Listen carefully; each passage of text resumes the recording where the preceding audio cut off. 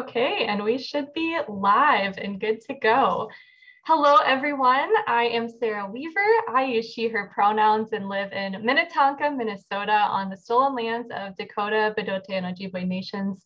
I am the Special Projects Coordinator for ELCA Young Adult Ministries, and I have the great pleasure to be involved with hashtag No Plastics for Lent this year. Um, and before I introduce our wonderful guest for this evening, I want to invite all of you to participate in No Plastics for Lent this year to find a sustainability practice um, across that um, your lives that is accessible and meaningful for you. This initiative is led by young adults across um, the ELCA church, um, and it invites us into a season of prayer for creation to lament the ways that we have been complicit in the degradation of the earth and to take action to care for our neighbor in fasting from the things that are hurting our planet. So along with these wonderful speakers that we have on Monday evenings, we will also have Zoom and small groups that you can join on Tuesday nights, Thursday nights, Sunday afternoons. Um, there's a Wednesday meditation reflection and Fridays Ask a Plastics Engineer Answers. And tonight we have Julie Gerrish joining us to talk about her experience at the Climate Change Conference COP26. So Julie, I will now invite you to introduce yourself. Hi, my name is Julie. Um, I am, I use she, her pronouns, and I live in Berkeley, California on Ohlone land. And I am getting an MDiv with a concentration in climate justice at Pacific Lutheran Theological Seminary, otherwise known as PLTS. I'm originally from Phoenix, Arizona. Nice. Awesome, Julie. We're so glad to have you here tonight um, and to talk about your experience at COP26, like I mentioned. So, how was your experience? I would love to hear about the people that you met and the things that you saw, the things that you did, all of that that you were able to participate in. Yes. Okay, so COP26 is the UN climate conference, and this was the 26th one. It happens every year. This was the first one that I have gone to, and it was in Glasgow, Glasgow, not California, Glasgow, Scotland. um, and it was such an experience. Um, I was there for the first week. It was two weeks long. And I went along with a delegation from the ELCA. And um, I have to say, my first day there, I felt really disillusioned. Um, just all the people walking around in their suits and um,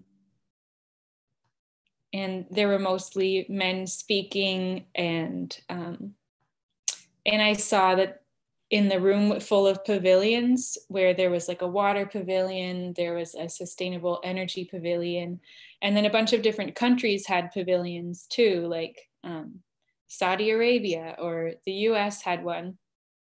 Um, and there was also one called like Nature Positive, and I looked at the sponsors for it and I saw Amazon and like WWF, which I know also has a really highly paid CEO. And I was like, what? What the heck? But my second day, um, after journaling about it, I went to another pavilion called the Resilience Pavilion. And um, there was just room for more like discussion amongst people. And I felt renewed hope that even though I didn't have a lot of hope for the politicians at the conference, um, I knew that what is good about COP is all of these people coming together every year. Yeah. And that the world can see like this is happening. There are people gathering about climate change and people care. Um, yeah, so that kind of changed my perspective on the event. Like, of course, this is not the one event to change the course of how humans deal with climate change, but this is an event and it's a great place to meet people, um, network, learn about other countries and what they're doing in the world and and just like individual people too. Um, and I find like each person in their local context, that is what changes the world. Right. people connecting with their local contexts and then building relationships with people around the world. Yeah. Yeah. I am interested um, to know if like you were what was a person or like a community or something that you met there that you were able to talk with um, if you can remember anyone specifically yeah. was like the first person or anything that comes to mind that you were able to like connect with and relate to on that like personal level that you were talking about i think the first person that comes to mind as doing something really cool in their context is um, moses Quollen. don't know if you can see that but liberia forest media watch he is a young adult in Liberia. I met him in the bus at one of the events, like in between. And he had worked for the government as a journalist, but he switched to freelance journalism so that he could work more with like other young adults in his context. And he is trying to save the forest from deforestation by like young people who just um, don't have access to education about more sustainable ways of living. And because a lot of the youth, like himself and his younger siblings, were caught up like in the war mm-hmm. in Liberia when he was a child, so didn't have much of a chance for access to education. So he's using his platform as a journalist to to support other um, other young adults. And I just thought that was awesome because he's within his context is really making a difference. And um, so he was something great. But then there are also people like Don Robin from the Netherlands, um, who works in sustainable energy and connecting people. Um, yeah, and Ms. Ulay Kamara, I love how she, you have all the business cards. yeah. A lot of people had business cards. Yeah. I didn't carry cards with me. Um, but she works with um, sustainable energy in the Gambia. And it was really, she had just barely gotten there because COVID restrictions were so strict. And a lot of countries, especially in the global south, did not have access to vaccines until much later um, than like the US, for example. So there were a lot of people who weren't able to be there, mm-hmm. who really should have been able to be there. Right. And Ulay, like a lot of her team, were still in the Gambia, like waiting at the airport for when they could finally come to COP, like if at all. Yeah. Um, okay, and one other person who I thought was outstanding and so exciting. I went to um, a session on Indigenous education, and one of the speakers at the conference, um, she's doing, it's usually called repatriation, but she is calling it rematriation of seeds. Um, so she is Indigenous and she works with Indigenous seeds that have been co opted and taken into museums but they're letting them out and she is rematriating the seeds. Um, wow. Um, so kind of like almost the plot of the Lorax. Like, yeah. you know how there's one seed left at the end? That's what all she gets sometimes. And she has to wow. like help them survive and let them keep going. And her name is Tiffany, um, Tiffany Travers. Um, and and there's an Indigenous Action Network where a bunch of tribes from so called Canada are connecting with each other and um, and like working with each other to revive language and culture and right. seeds and um, just people from all over. So I think the main takeaway I got from that is just start where you are and find like what is something that you really care about and do that and find other people nearby that that are interested in that too Right. or at least one person like find a teammate and and just try something because like i heard at the conference like homegrown solutions are not perfect but they're the pathway to helping the climate Yeah, right. And especially being at like such a large conference with a lot of people, a lot of politicians, and people who are not living in marginalized communities necessarily being directly affected by climate change. Um, And so there are probably a lot of voices that we're missing from COP26 that should have been there, like you said.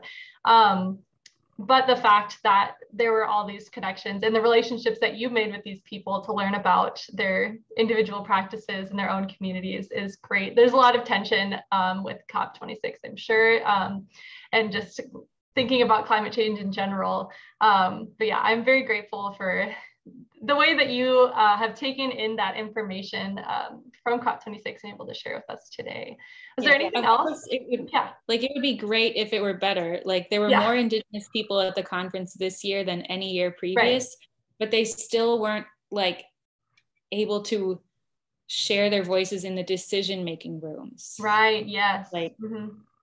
So it's like something's got to change, but the people who really have stakes and have like lives at stake in the climate justice movement are often the people who do not get heard or have their words like taken into account Yeah. at um, like large climate forums like COP.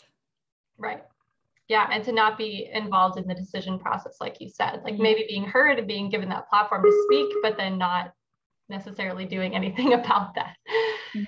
Yeah. Um, anything else about the conference that you want to share before we kind of change subjects a little bit?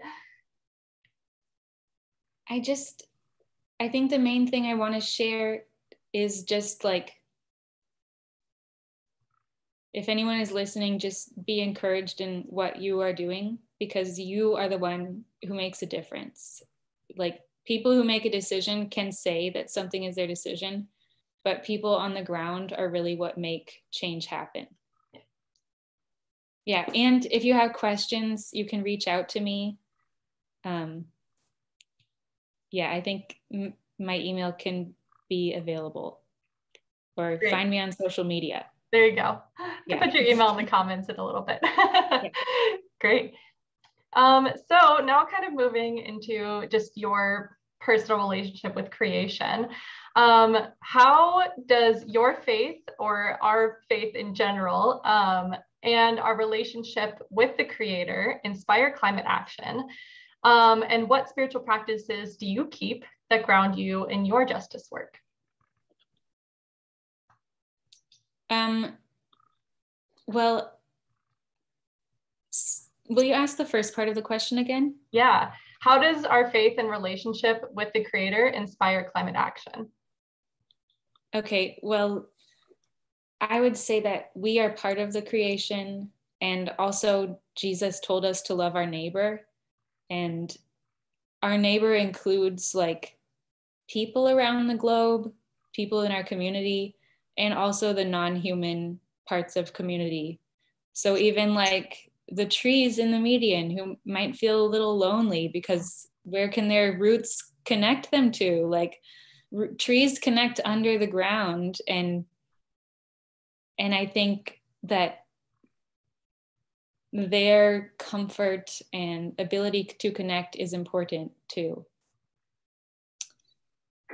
and um, so my spiritual practice i really do love trees and i like to talk to trees and hug them and tell them all my secrets and um, they bring me a lot of joy. I also like to listen to my friends and um, listen to voices from around the world and marginalized voices within the community because we are all creation and um, and I think for me as a white person especially I have a lot of listening to do.